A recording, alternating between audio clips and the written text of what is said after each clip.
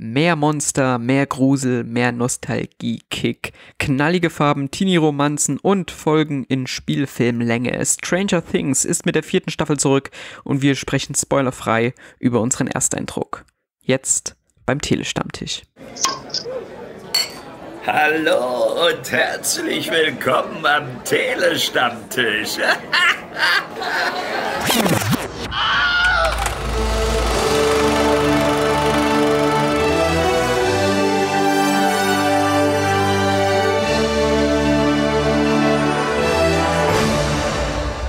Am 27. Mai startet die erste in Anführungszeichen Hälfte der vierten Staffel Stranger Things auf Netflix und wir konnten bereits ein paar Folgen der Staffel vorab sehen. Wir, das sind zum einen Sven, hallo. Hallo.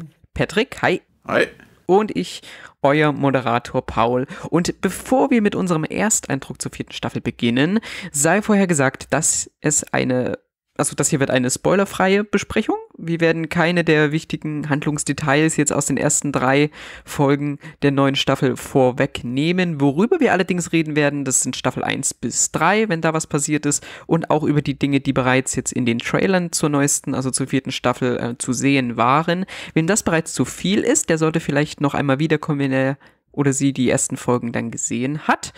Außerdem möchte ich jetzt noch mal ganz kurz drüber sprechen, wie wir drei denn überhaupt zu dieser Serie, zu Stranger Things, dem ja einem der größten Aushängeschilder äh, von Netflix stehen, ob wir uns gefreut haben, ob wir vielleicht sogar gehypt waren. Sven, wie sieht's bei dir aus? Bist du schon warm geworden mit den vorangegangenen Staffeln? Ja, ich muss sagen, ich habe, weil ich eh Fan von so Sachen bin wie Goonies, äh, Super 8 und so weiter und so fort, war mir das natürlich dann direkt ein Verlangen, mir die erste Staffel reinzuziehen, weil sie ja natürlich auch dementsprechend geworben wurde. Ich war aber auch sehr schnell ein bisschen ernüchtert. Bei mir ging der Hype erst ab der zweiten Staffel wirklich los. Ich mochte die erste schon gerne, aber es war mir einfach auch ein bisschen zu, zu wenig von allem. Es gab viele Sachen, die mir gefallen haben, aber wirklich richtig in den Hype-Train eingestiegen bin ich erst ab der zweiten Staffel. Und du, Patrick? Ich fand's sympathisch, aber ähnlich überbewertet. Winona Ryder war ja fast schon im Nicolas Cage-Modus, so hysterisch wie die war. Bei mir ist so dieser Hype erst und der Staffel gekommen, wo die anderen gesagt haben, nee, das ist nicht mehr meins. Also in der dritten, wo ich gemerkt habe, okay, jetzt macht es mir schon irgendwie mehr Spaß, weil da wirklich die 80er Jahre so referenziert haben, wie andere immer wahrgenommen haben. Ja, aber bei mir ist es genau andersrum. Ich mochte die erste Staffel und das hat sich dann so ein bisschen mit den letzten beiden so ein bisschen abgeflaut. Und eigentlich auch aus denselben Gründen, weil ich fand in der ersten Staffel, da war das noch alles so, ja, da war es noch ein bisschen subtiler alles, da war noch nicht so die volle äh, Referenzenkiste und so einfach in your face. Das ist mit den letzten beiden Staffeln dann schon doch noch mal ein ganz schönes Stückchen äh, angestiegen. Da war auch noch nicht so viel mit Monstern, da war das mehr, da blinken mal ein paar Lichter oder da verformt sich mal eine Wand und dann sieht man mal am Ende so ein äh, so eine Außerirdischen oder so ein Wesen da noch. Ähm, das hat sich jetzt natürlich mit den Staffeln ein bisschen geändert. Ich war jetzt trotzdem irgendwie gespannt auf die vierte Staffel, auch wenn ich für mich persönlich die dritte Staffel mit die schwächste war, weil ich einfach auch mit diesem ganzen Teenie-Romanzen und diesem Sommer-Feeling, das war mir alles einfach too much. Das war alles zu, weiß ich nicht, ja, mir war mir zu kitschig. Für mich hat die dritte Staffel erst so in der zweiten Hälfte dann tatsächlich wieder mal ein bisschen was äh, rausgeholt oder was, äh, was gezeigt, was, womit auch ich dann was anfangen konnte. Deswegen gemischte Gefühle, aber doch schon irgendwie, ich habe es auch gemerkt, wie mich jetzt so ein bisschen die Trailer oder wie dann doch ein bisschen wieder abgeholt hat. Ähm, jetzt sind wir also hier in Staffel 4 angekommen. Wir haben die erste Hälfte der Staffel vor uns und wieder sind da diese imaginären Anführungszeichen dabei, denn Hälfte heißt in dem Fall sieben von neun Episoden. Das ist eine interessante Veröffentlichungspolitik, die Netflix da dieses Mal fährt. Äh, und nicht nur das, die einzelnen Folgen an sich, die haben diesmal auch gigantische Laufzeiten. Eine ist beinahe länger wie die andere. Die kürzeste geht, glaube ich, 63 Minuten, ist die dritte Folge der vierten Staffel. Und das Staffelfinale, Folge 9, soll wahrscheinlich sogar zweieinhalb Stunden gehen. Aufgrund dieser langen Laufzeit und ja auch also die ersten Folgen allein umfassen ja auch schon 70 Minuten plus, ähm, haben wir uns dazu entschieden, unseren Ersteindruck jetzt einfach nach drei Folgen aufzunehmen. Einfach Folge 1 bis 3, damit wir zumindest den kleinen Überblick da haben. Ich weiß von euch, dass ihr auch schon weitergeschaut habt, während ich hier der Einzige bin, der sich brav, der brav nach drei Folgen abgeschalten hat. Egal, aber ich denke schon, dass anhand dieser drei Folgen, die wir jetzt, wie gesagt, wirklich spoilerfrei oder wie gesagt eben nur das vorwegnehmen, was man auch vielleicht schon im Trailer gesehen hat, äh, dass man auch anhand dieser Folgen schon die Richtung und auch das Upgrade dieser Staffel ganz gut erfassen kann. Und wenn ihr jetzt erstmal nichts zu diesem kleinen Vorgespräch, zu diesem Vorgeplänkel habt, würde ich sagen, wir gehen einfach so kurz ein paar äh, einmal die drei Folgen und so durch und gucken uns mal, was, worüber können wir reden, was ist uns vielleicht im Vergleich zu den anderen Staffeln aufgefallen, was ist nochmal neu geworden, was ist vielleicht auch genauso wie in den vorangegangenen Staffeln. Ja, Vielleicht Sven, ähm, möchtest du einmal kurz zusammenfassen, äh, worum sich denn jetzt diese vierte Staffel so ganz, ganz grob dreht? Die vierte Staffel mit den drei Folgen, soll ich zu jedem so eine kleine genau, Anekdote mach's, raushauen? Mach's, genau, mach's so ganz grob. Okay. Also die erste Folge heißt Hellfire Club und äh, da sehen wir einfach, wie Elfie jetzt Jane mit Will und dem Rest der Familie in Kalifornien versuchen, neue Fuß zu fassen und auch da funktioniert nicht alles so, wie man sich das wünscht. Genauso ist es in Hawking. In Hawking versuchen Lucas, Max und Dusty und Mike und der Rest der übrig gebliebenen Gang auch äh, sich durch die Highschool zu schlagen. Und ja, natürlich gibt es immer wieder hier und da ein paar kleine Scharmützel und auch das Böse hat sich ein Upgrade besorgt. Genau, das sieht man, wie gesagt, auch schon im Trailer. Gibt es diesen einen Shot schon sehr von diesem, von der Gestalt, die uns genau. diese Staffel wahrscheinlich länger begleiten wird. Genau. In der zweiten Folge, die äh, Vekandas Fluch heißt, spitzt sich die Lage langsam Wegnas, zu. Ein oder? Weg, Wegnas? Wegnas. Oh, Nicht Wakanda, Wakanda ist was anderes. Waka, ach Gott, Wakanda ist Ding. Wakanda ist Marvel. ja, das ist auch der Name des Bösewichts. Wegnas Fluch. Also, wie gesagt, die Lage spitzt Mann, sich langsam Mann. zu. Eine Mitschülerin wird, wurde nämlich ermordet. Wir erfahren mehr über einen alten Freund. Nancy startet ihre eigene Recherche, um die Zeitung äh, voranzutreiben. Und Elfie gerät in einen Zwischenfall, der größere Kreise ziehen könnte. es klingt tatsächlich wie diese kleinen Episodenbeschreibungen, die dann immer unten bei Netflix aufploppen. Du machst das echt ich gut, habe mir ziemlich viel Mühe gegeben. Und die dritte Folge heißt Monster und Superhelden.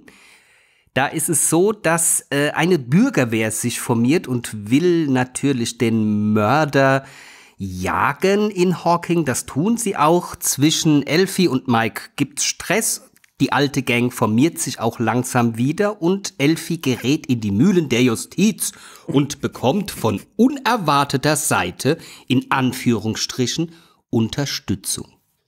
Ja. Fertig. Genau, das ist es.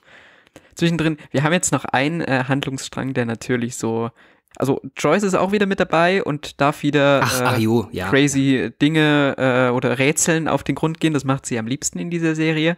Und natürlich auch, und das ist jetzt auch kein Spoiler, denn das ist tatsächlich ja schon seit der After, was eine After-Credit-Scene überhaupt? Ja, ne? In Staffel 3 ja. äh, das Thema gewesen, beziehungsweise wurde es auch in den Trailern gezeigt. Auch Hopper, den gibt's noch. Ja, das meinte ist, ich mit alter Freund. Ja, okay. ich habe es jetzt einfach mal, weil irgendwie so den, den kleinen Handlungsstrang gibt's ja hier auch, auf den wir vielleicht auch zu sprechen kommen. Hm, ich finde, oder ich, ich habe mehrmals, während ich die Folgen jetzt geguckt habe, die ersten Folge gedacht, ach, den gibt's auch noch. Ach, richtig, das ist auch noch ein Charakter. Und hm. es war ganz schön viel, oder? Hattest du auch den Eindruck, Patrick? Ja, vor allem die ersten beiden Folgen, die brauchen wirklich ein bisschen, bis die in Gang kommen.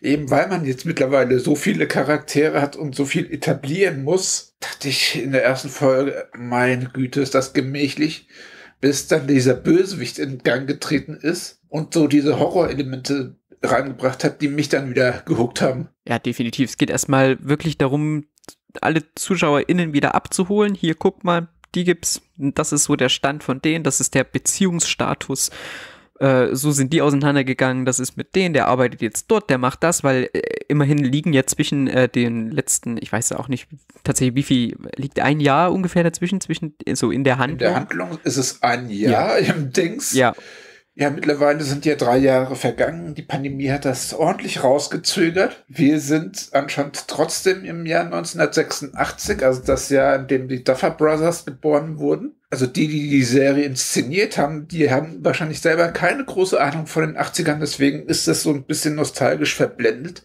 eben weil sie es ohne diese ganzen Schattenseiten durchlebt haben. Da kommt auch so ein kleiner äh, Kritikpunkt. Ich bin selber 1986 geboren wir kriegen das alle wahrscheinlich selber nur von den wirklich guten Seiten mit und die haben wirklich versucht, alles an 80er Jahre Referenzen reinzuballern, was ging. mhm. Neben diesen vielen Charakteren, die sie etablieren mussten. Also neben den Cameos, neben den neuen Charakteren, neben diesen ganzen alten Charakteren, die ja mittlerweile auch einige sind, muss da wirklich erstmal einiges etabliert werden. Ja, genau, erstmal wieder hier, also halt zurückgestellt werden. Die müssen nochmal wieder neu ins Boot geholt werden. Ich hatte jetzt auch so das Gefühl, dass man da den einen oder anderen Charakter vielleicht jetzt auch die ersten drei Folgen so ein bisschen erstmal links liegen lässt oder den einfach so einen Handlungsstrang erstmal zuschreibt, wo ich mir denke, hm, okay, hätte man hätte man jetzt vielleicht auch gar nicht so gebraucht, äh, aber es muss halt irgendwie äh, gemacht werden, um diese ganzen Figuren eben wieder unter einen Hut zu bringen. Sven, wie ging's dir? Ich muss sagen, ich habe dadurch, dass wirklich so zwischen den Staffeln jetzt auch so viel Zeit vergangen ist, ich war klar gehypt. Ich habe mir auch nur einen Trailer angeguckt. Mehr wollte ich dann auch nicht wissen. Aber nach den ersten fünf Minuten hatten sie mich direkt volle Kanne wieder am Haken. Und ich finde, das Pacing passt wirklich wunderbar. Ich habe mich die, also ich habe mich null gelangweilt. Gerade so die erste Folge, die ja wirklich so diesen gemächlichen Aufbau hat und am Schluss dann einen Hammer raushaut, wo ich gestern wirklich seit langem mal wieder mit offenem Mund vor der Glotze saß. Ich find's super. Mir hat's, ich habe mich null gelangweilt. Es war schön, die alten Charaktere wieder zu sehen und vielleicht auch, auch ein paar neue wieder, die sie mit einführen. Und ich war wieder zurück in den 80ern. Was sagt ihr denn zu den, zu den Neuankömmlingen? Es sind so ein paar neue äh, Highschool-SchülerInnen äh, und dann natürlich diese eine neue, also diese, diese, dieses neue Wesen oder dieser neue Gegner, dieses neue Obermonster da, das können wir vielleicht äh, als letztes dann sprechen. Aber was sagt ihr denn zu den anderen? Weil ich hatte das Gefühl, ach Mensch, man, man greift da schon wieder so tief in die Klischeekiste, ne? Man hat da einmal jetzt diesen neuen, diesen einen Kifferfreund, der irgendwie so Dauer, Dauerhigh ist.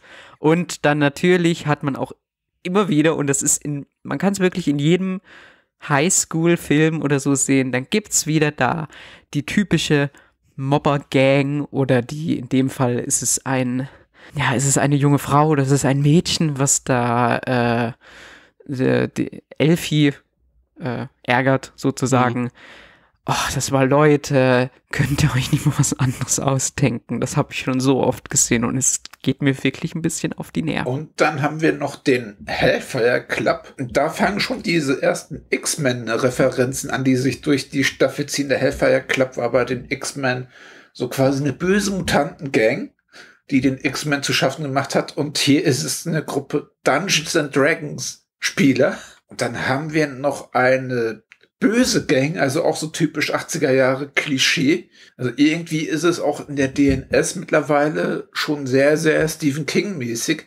Das große alte Böse, das könnte auch S sein oder irgendeins von Stephen Kings Kreaturen. Mhm. Ja, aber sagen wir es mal so, die, was du, so, das Klischee, ja, aber das, klar, natürlich hast du das in jedem Highschool-Ding, aber das hast du auch bei, bei Cobra Kai, das hast du auch bei, ach, was weiß ich alles. Ja, also mich hat's, denn? Denkt euch doch mal was Neues aus. Gib mir Ja, doch aber- mal, oder gib mir doch mal Charaktere, die irgendwie in so einer Grauzone sind. Ich meine, äh, äh, in der ersten Staffel, gut, ich habe die erste Staffel jetzt auch nicht lange gesehen. Steve war ja am Anfang auch so ein Charakter, wo man gedacht Mhm. hat, oh, dieser. Aber bei dem hat man es ja dann wenigstens so, also bei dem hat man es ja gedreht.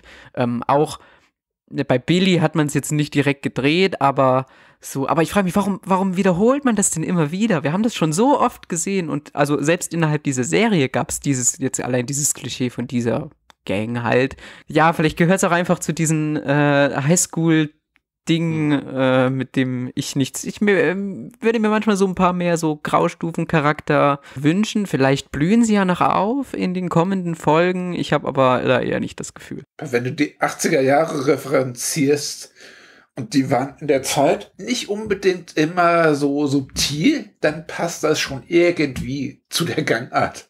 Ja, es, es stimmt, aber ich, ich verstehe schon, was du meinst, weil du springst ja auch immer wieder zwischen, zwischen Elfie und dem Hellfire Club hin und her und da beißt sich das schon ein bisschen. Also wenn dann Angela hier auf Elfie rumhackt und die wirklich bis zum geht nimmer erniedrigt, hast du dann direkt den Sprung wieder zurück, wo dann die anderen, also die Sportler-Crew sich dann auch wieder gerne auf die Hellfire-Jungs stürzt.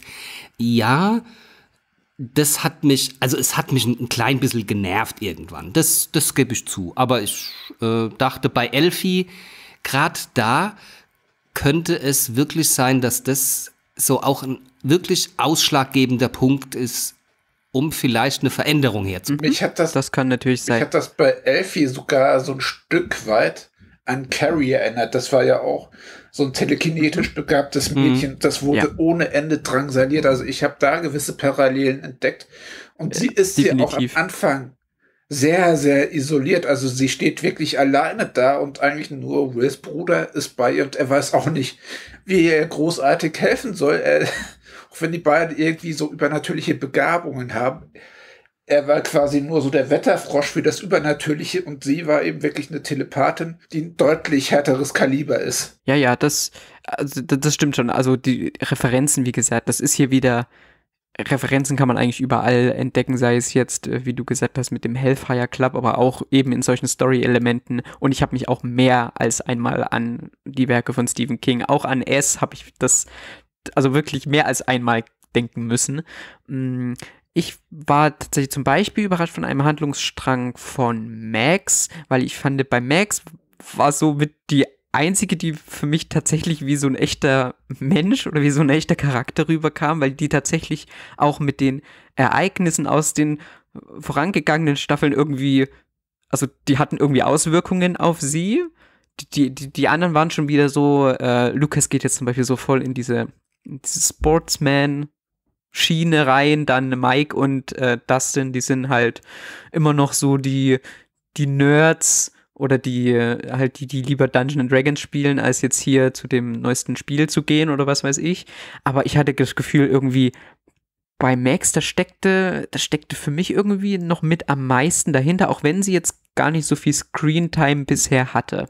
Max hat schon eine tragende Rolle in der Staffel, das kann man schon mal sagen. Und das wird auch noch ein bisschen anders gewichtet.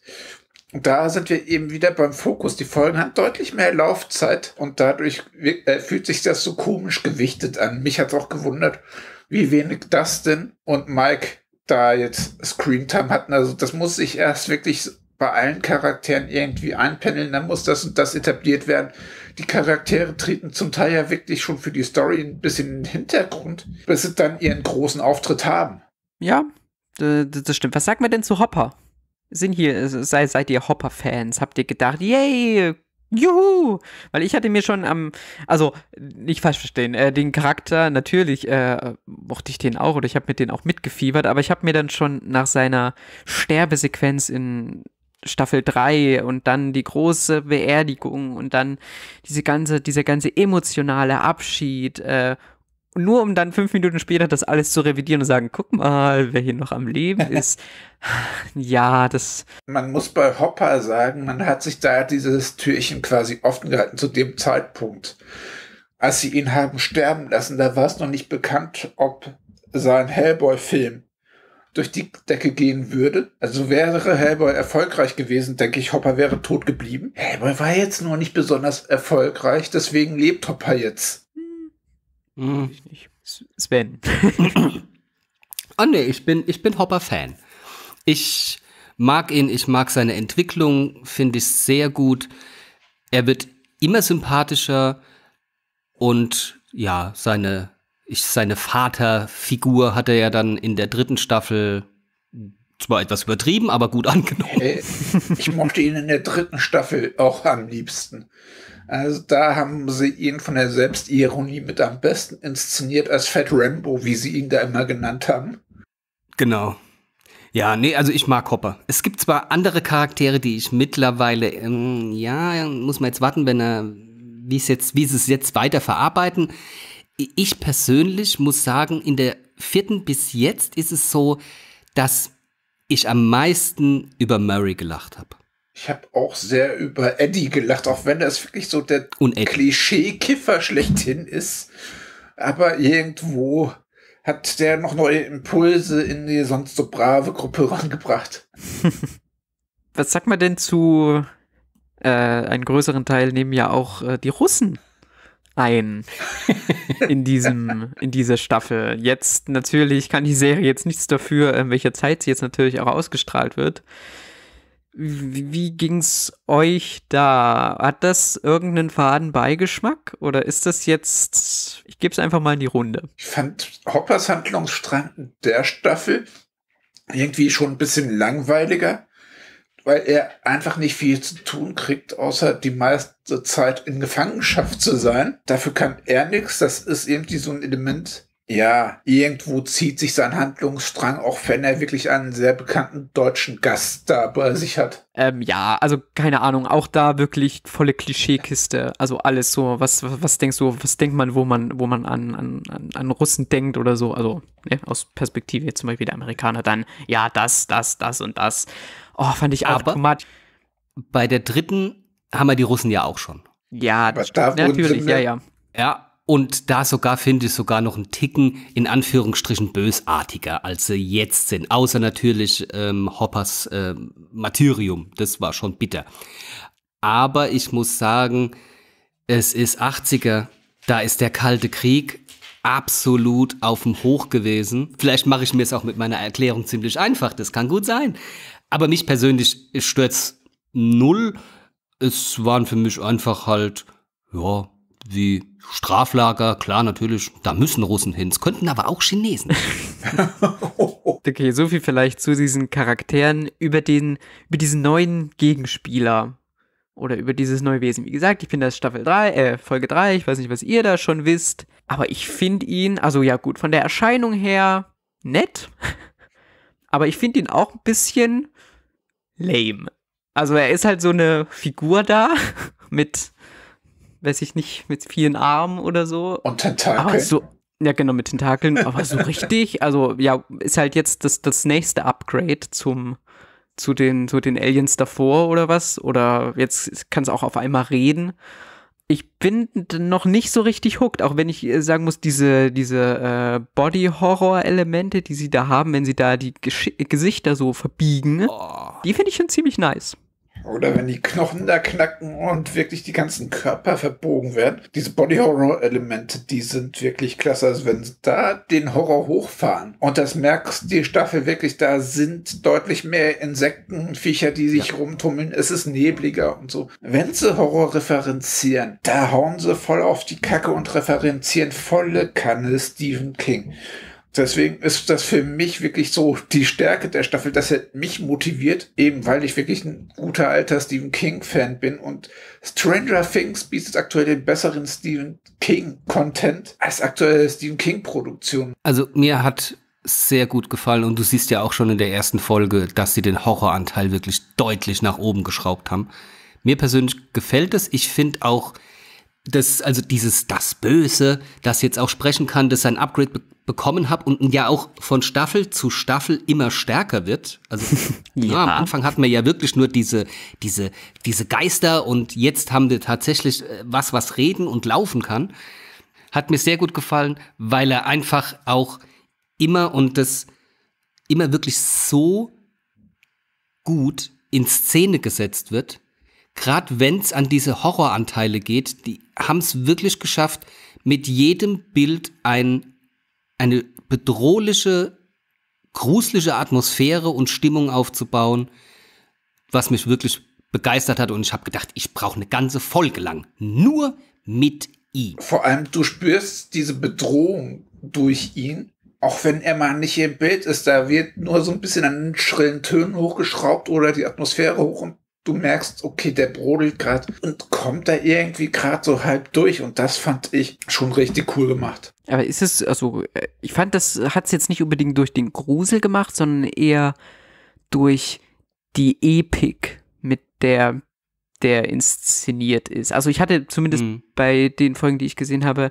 bisher nicht das Gefühl, dass es mich jetzt irgendwie auf so eine unheimliche Art und Weise catcht. Und ich bin jetzt wirklich nicht der große Horrorfan. Also normalerweise schlage ich da auch ja, bisschen schneller vielleicht an als andere, aber ich hatte eher Probleme mit seiner Monstrosität, wie man ihn da zeigt und dann, oder dieses Wesen dann auch agieren lässt oder seine Opfer dann auch mal so wahllos manchmal vielleicht äh, auswählt oder so das hatte schon, also das wird schon mit voller Kraft vorgetragen und nicht jetzt, oh, jetzt machen wir mir hier mal so eine gruselige Atmosphäre, sondern nee, da fährt dann auch die Musik, wie Patrick jetzt auch schon gesagt hat, auch mal ordentlich auf. Nee, es stimmt schon, auch die, also die Inszenierung, du siehst einfach, dass da so viel nicht nur Geld drinsteckt, sondern ich finde wirklich auch, wie wie alles halt aufgebaut ist, dass da so viel Können dahinter steckt, dass ich mich gestern Abend wirklich mehrfach vor dem Laptop verneige. ja, der Produktionsaufwand ist, der, der, der ist wirklich riesig. Aber du siehst halt auch die, die Effekte.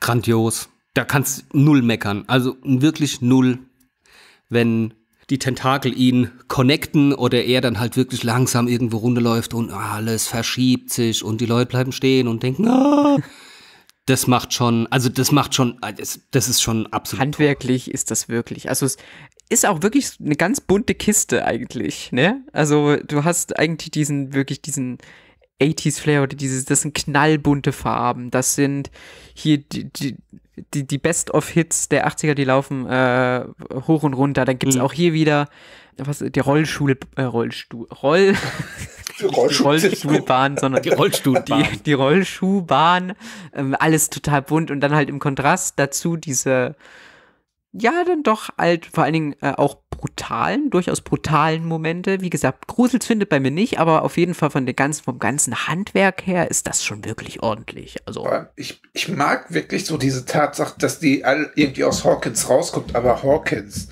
lässt die nicht los, weil das Upside Down, dieses Zentrum des Bösen ja eigentlich da stattfindet. Und dadurch merkst du noch nicht mal so großartig den Location-Wechsel, weil vieles wirklich beim Alten geblieben ist. Mann, also ich merke auch keinen großen Unterschied jetzt, wenn sie jetzt da, in, ob sie da jetzt in Kalifornien auf der, auf der Rollschuhbahn sind oder ob das in Hawkins war. Pff, das stimmt, nicht. ja. Was sagt ihr denn zum, zu, jetzt kommen wir wirklich mal auf die Längen zu sprechen, das wollte ich eigentlich zuvor machen, siehst du, das habe ich jetzt vergessen, egal. 70 Minuten oder die ersten zwei Folgen gehen, glaube ich, 70 Minuten, 77 Minuten so rum. Und ich muss sagen, ich war tatsächlich überrascht, wie wenig das mir zumindest aufgefallen ist, weil es fühlt sich schon dann doch die Folge rund an. Wie gesagt, man hat wahnsinnig viel zu tun mit wahnsinnig vielen Handlungssträngen. Es fühlt sich auch wahnsinnig viel an und ich muss auch ganz ehrlich sagen, nach drei Folgen fühle ich mich schon an, als hätte ich schon die Hälfte der Staffel oder etwas mehr als die Hälfte der Staffel hinter mir. Aber die Folgen an sich, ich hatte jetzt nicht, habe jetzt nicht während der Folgen auf die Uhr geguckt und gesagt, oh, was, immer noch eine Dreiviertelstunde. Nee, absolut nicht. Die erste Folge, ich habe noch gedacht, oh verdammt, habe ich irgendwie vorgespult aus Versehen? Oder oder habe ich eine kürzere Fassung gekriegt und dann habe ich drauf geguckt und dachte, oh nee. Also bei den ersten zwei Folgen war überhaupt keine Ermüdungserscheinung. Bei der dritten, bei der kürzesten habe ich zwischendrin tatsächlich mal gedacht, ach jetzt lang. Ich auch. Jetzt könnten wir bitte, bitte, jetzt könnten wir doch bitte mal wieder zum Knackpunkt ja. zurückkommen. Aber, und das ist einfach das, was, was ich so wirklich geil finde, als ich angefangen habe, im Inneren zu meckern, haben sie gemacht, zack, und dann ging es schon wieder rund. Und ich dachte, okay, alles klar. Aber trotzdem, bei der dritten gibt es tatsächlich etwas Ist mir tatsächlich auch aufgefallen. Dann habe ich mir auch so gedacht, wow, jetzt ernsthaft bei der Folge, die nur 63 Minuten geht, geht, da, und da gibt es jetzt kurz so einen Hänger. Ja, äh, ging es dir auch so, Patrick? Ich habe die größten Längen erstmal wirklich in der ersten Folge gespürt, in der dritten auch. Und trotzdem ist es wirklich so diese gesunde Balance, die sie irgendwann finden. Sobald du denkst, oh Mann, jetzt wird's langsam nervig, switchen die zu einem anderen Handlungsstrang. Das ist eben für mich die Stärke dieser ab Staffel 3 haben. Die Längen können sie dadurch kaschieren, dass sie jetzt mehrere Charaktere haben. Und deswegen nicht die ganze Zeit auf ihre zwei Handlungsorte fixiert sein müssen, sondern durchswitchen können und so ein bisschen die Langeweile ausblenden können. Mhm. Ja, ich bin sehr gespannt, wie sich das im Laufe der Staffel jetzt weiterziehen wird. Gerade natürlich, also die letzte Folge, die, die, die, die ja, also, ja, die stellt halt alles, also, schade, also Stranger Things würde bestimmt auch im Kino sehr gut funktionieren, ne? Da als letztes ja. so das Staffelfinale da. Also ich bin gespannt, wie sie es ausbauen. Bisher muss ich wirklich sagen, finde ich, dass sie das gut nutzen. Die kürzere Folge hätte ein bisschen kürzer sein können. Aber äh, bisher doch. Ich bin, ich bin gespannt, auch wenn es jetzt schon in den 90 Minuten Bereich geht. Aber ich denke mal, sie haben einen Plan ich denke manchmal, äh, dass sie sich ein bisschen verhoben haben mit ihren vielen Charakteren. Sogar Millie Bobby Brown hat geschrieben, eigentlich müsste man so das Game of Thrones Verfahren machen und mal ein paar äh, Charaktere sterben lassen. Also ein paar kommt wirklich zu kurz, ein paar sind. Das Verfahren. ein paar sind fast schon bessere Stichwortgeber. Und wir kriegen ja auch noch eine fünfte Staffel. Also mal abwarten. Ich freue mich jetzt schon nachher noch die letzten beiden Folgen zu schauen. Also ich habe wirklich die ersten fünf Folgen dann durchgebinged, obwohl ich am Anfang so ein bisschen genervt war. Und sobald der Horror losging, war ich gehuckt. Ich hm, werde jetzt wahrscheinlich ein bisschen warten. Ich habe gerade nämlich noch Ozark, die vierte Staffel, äh, die ich auf Netflix zu Ende gucken muss. Und oh. danach kommt, äh, gucke ich aber auch den restlich, äh, die restlichen von äh, Stranger Things natürlich. Mm, so, jetzt einfach mal noch wild äh, durch die Kante gefragt. Was waren noch so Dinge, die euch aufgefallen sind jetzt in den ersten drei Folgen? Was sind vielleicht, was ist so vergleichsweise vielleicht zu den anderen Staffeln noch an? Was haben sie noch anders gemacht? Ich habe zum Beispiel noch eins, dieses ganze Nerdige oder dieses hier Dungeon and Dragons oder Spielen, das wirkt jetzt fast wie so ein Pflichtprogramm, was man noch irgendwie einbringen muss, aber es wirkt für mich zum Beispiel nicht mehr so natürlich in Anführungszeichen wie in den ersten Staffeln. Oh, Ist ja. euch das irgendwie aufgefallen?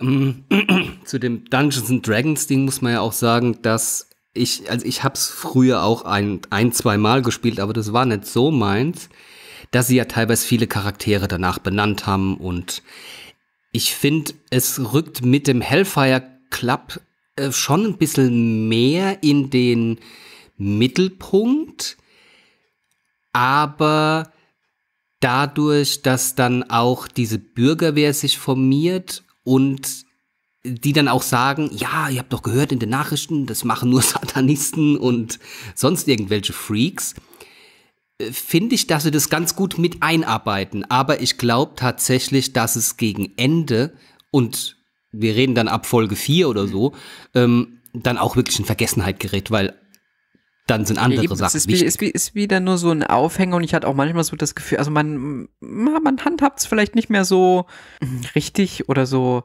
Man macht sich auch mal so drüber lustig. Es gibt diese eine Szene, also das ist eine ganz kleine Szene, die wollen irgendwas herausfinden. Das hat jetzt auch nichts mit Dungeons Dragons zu tun, aber die wollen etwas, einen Namen herausfinden und gehen dann äh, über den Filmgeschmack verschiedener Leute, um dann halt natürlich, denn der der, der die Kifferfilme ansieht, der ist natürlich der Dealer.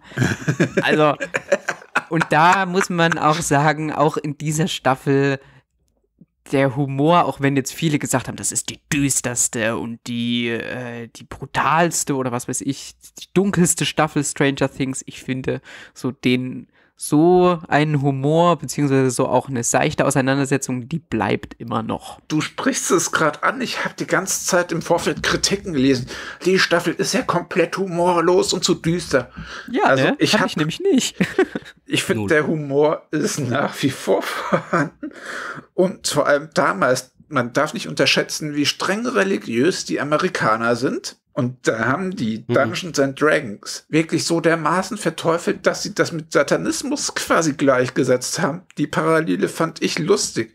Vor allem, weil dieser Ober-Dungeons and Dragons Spieler aus der Clique dann wirklich auch noch so ein Hardcore-Dealer sein muss und ein Oberkiffer und alles.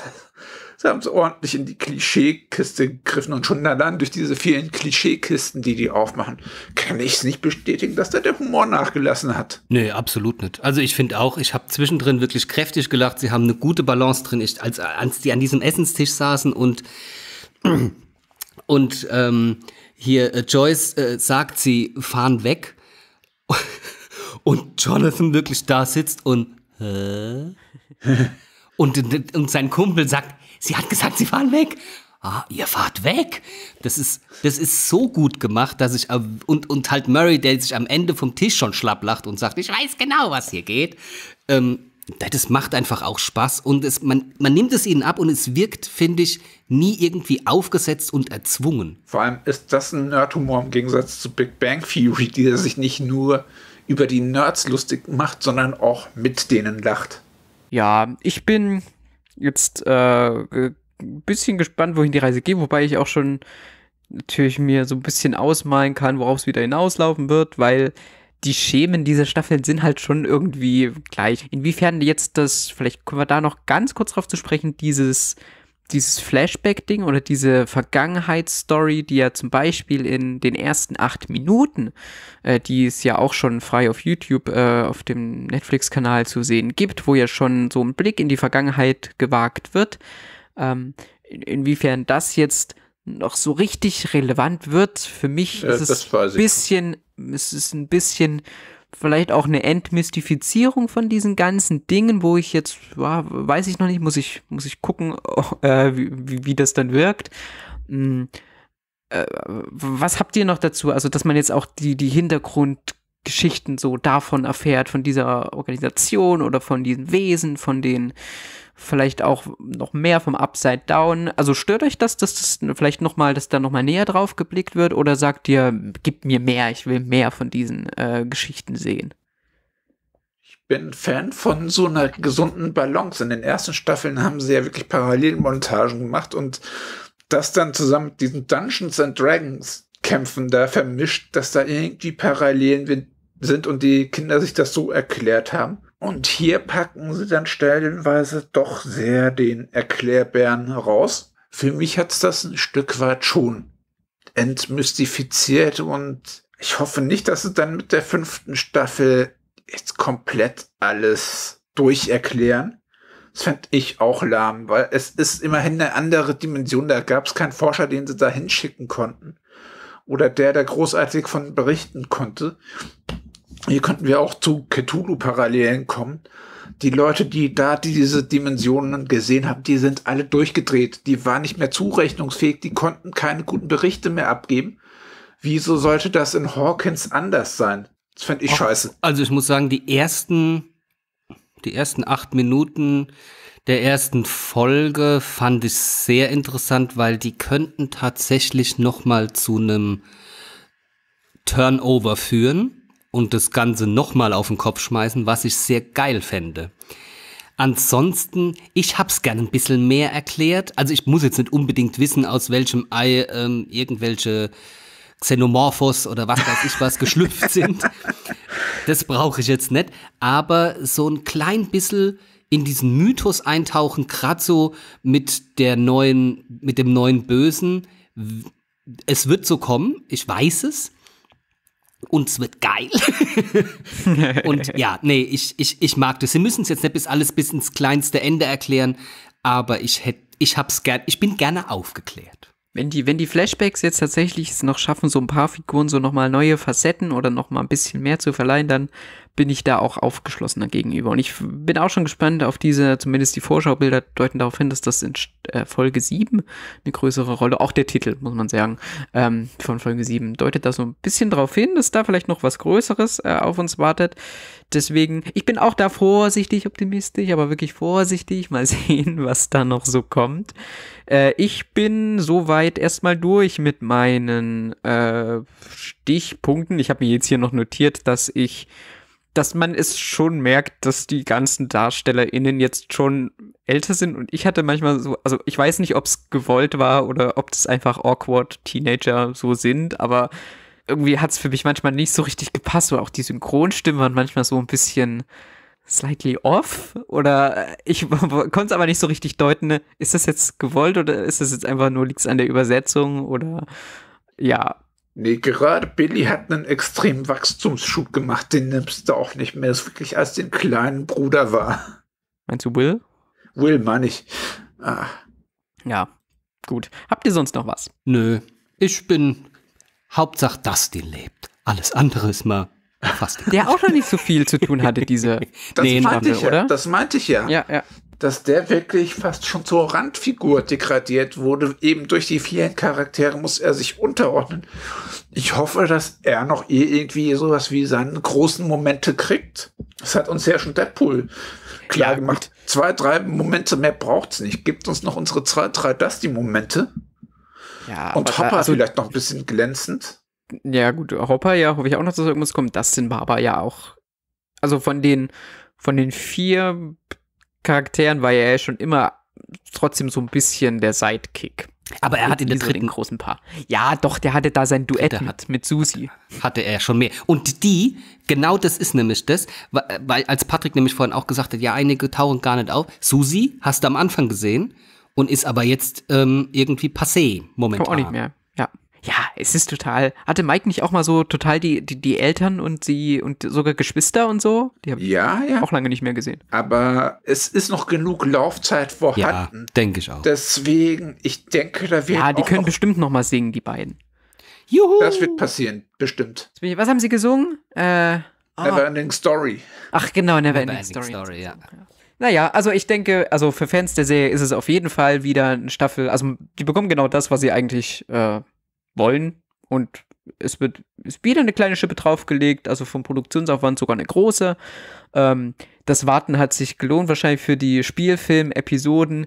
Ich bin nicht ganz so angetan. Ich hätte mir lieber so einen Schritt zurück, so Richtung Staffel 1 gewünscht. so, ähm, aber ich verstehe auch, wenn jetzt für viele Leute das natürlich, es wird immer größer. Ich habe geschrieben, ein Understatement ist die Serie längst nicht mehr da die fegt einfach über die Bildschirme und bringt ganz viel Nostalgie-Referenzen, ein bisschen Grusel, vielleicht effekthascherischen Grusel bringt sie mit. Für mich äh, hat sie aber auch so ein paar Staffeln, die, äh, ein paar Schwächen, die sie halt auch schon die ersten Staffeln eingeführt hat, so vor allem die ganz, ganz große Klischeekiste und dieses ständige, auch dieses Stück weit repetitive, die hat sich in dieser Staffel bisher, ich spreche nach drei Folgen, ich bin hier das absolute Lamm, weil ich noch nicht weiß, wie es weitergeht, äh, haben sich bisher für mich bestätigt. Ich hoffe, dass sie vielleicht schaffen, da wirklich auszubrechen, wenn, also indem sie sich auch mal wirklich handlungstechnisch oder auch mal von den Figuren her wirklich was trauen. Mm, da, wie gesagt, kann ich aber noch nicht sagen, so Ersteindruck ist, ja, ich, ich werde jetzt weiterschauen und ja, gut dann äh, ihr könnt gerne noch äh, auch äh, ein Fazit oder ein Appell nochmal von euch dran hängen. Das will ich euch natürlich jetzt nicht verwehren. Äh, ich äh, entlasse einfach mit euren Worten, dann sind ZuhörerInnen vielleicht ein bisschen optimistischer, wenn sie in die neue Staffel gehen. Patrick, willst du noch kurz einen Schlusssatz sagen? Ich hoffe auf noch eine Schippe mehr Horror. Also je mehr Horror kam, desto mehr war ich angefixt bisschen muss man schon damit rechnen, dass einige Charaktere fast schon zu Nebendarstellern degradiert werden und ein paar Längen muss man auch in Kauf nehmen. Ja, ob das jetzt so funktioniert hat mit dem Optimismus, ich lasse Sven noch mal ran. ich bin ultra gehypt. Ich äh, kann es kaum erwarten, mir heute Abend hoffentlich die, die nächsten Folgen anzuschauen. Es gibt, was wir ja auch schon erörtert haben, ein paar kleine Lücken. Ist aber nicht schlimm, weil es danach direkt wieder scheppert. Ich find's geil. Ich bin mega gehypt. Gut. Dann äh, danke euch beiden, dass wir hier über diesen, über unseren Ersteindruck quasi zur vierten Staffel von Stranger Things reden konnten. Mal sehen, wie wir das dann mit den letzten Episoden handhaben, inwiefern es die vorab geben wird oder inwiefern wir uns zusammenfinden und nochmal insgesamt und vielleicht auch mit Spoilerteil über diese vierte Staffel von Stranger Things reden werden. Das können wir jetzt noch nicht sagen. Äh, wir wünschen euch auf jeden Fall erstmal viel Spaß mit der Serie, wenn ihr denn Bock drauf habt. Und ansonsten bleibt mir noch zu sagen, bleibt gesund und bis zum nächsten Mal beim Telestammtisch. Tschüss. Tschüss. Ciao. Sehr geehrte Damen und Herren, wertes Publikum, liebe Hörende, vielen Dank für eure Aufmerksamkeit und Zeit. Ich hoffe sehr, euch hat gefallen, was ihr gerade gehört habt. Wir, die Redaktion des Telestammtisch, betreiben ein semi-professionelles Podcast-Projekt zum Selbstmitmachen. Also meldet euch bei uns, wir beißen auf. Außerdem freuen wir uns immer über Feedback via Social Media und E-Mail sowie euren finanziellen Support.